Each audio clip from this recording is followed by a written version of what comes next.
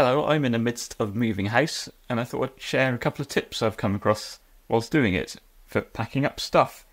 First one is this. I love this stuff. Get yourself some old inner tubes from a bicycle shop. I'm sure they'll have lots of throwing away or recycling. Cut it into strips, and if you've got a box like this one here, then you can put something flat on the top. When I say a box like this one here, something with an open top. You don't want stuff falling out, obviously, or collapsing into the box. So put something flat on the top that you want to pack. Use your um, giant elastic band that you've just made at the strip of of this stuff, and strap it around. Second tip, this one's even better. Get yourself some um, self-adhesive wallpaper.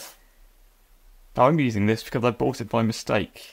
Um, I thought it'd be the, the thing to to um, wallpaper this room, but it turned out that it's somewhat see-through when you put it on the walls.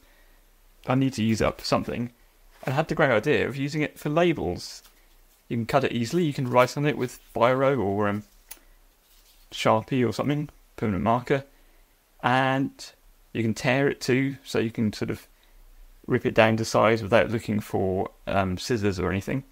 And the great thing is it'll fit on bent surfaces. It'll stick to most things. It's sticking here to the the side of the um, this mesh that's working, sticking to this wood.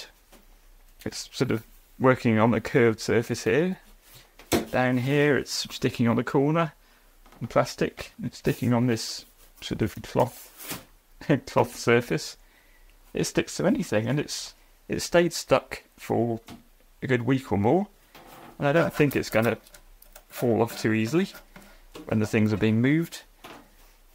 And the great thing is, if you've ever moved house, I mean, very big house here, uh, it's just so tempting just to scrawl on the box in a pen, and like as not, you're going to be using some second-hand boxes that have had other things scrawled on them. And when it comes to actually unpacking them, it'll have you know kitchen, bedroom two, bedroom one, bathroom all crossed out and scribbled over and you're not going to be sure which one is the right label. So having consistent white labels with the same wallpaper will help you know and also help your house moving people know if you're getting people in to do it for you. It'll let them know which label to actually take notes of. So I hope those two tips help you with your house move. Happy moving!